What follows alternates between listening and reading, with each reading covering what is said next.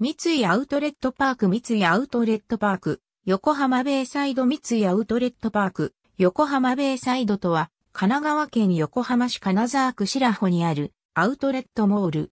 2008年4月1日に横浜ベイサイドマリーナショップスレストランツから解消された。三井不動産グループが展開している三井アウトレットパークの一つである。アメリカ東海岸にある港町のナンタケットをイメージして作られている。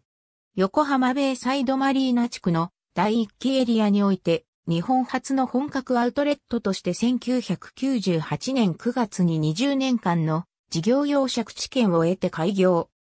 以来20年近く運営されてきたが、契約期間の満了が迫る中、2017年1月に横浜市は当地の売却先を三井不動産に決定した。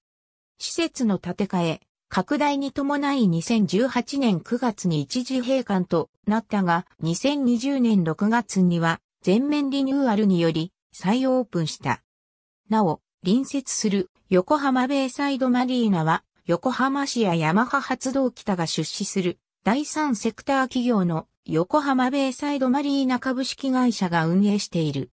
6から28メートルクラス用の1496区画のほか、ビジターバース約20席分などがあり、横浜、金沢海の駅として国土交通省より海の駅の登録を受けている。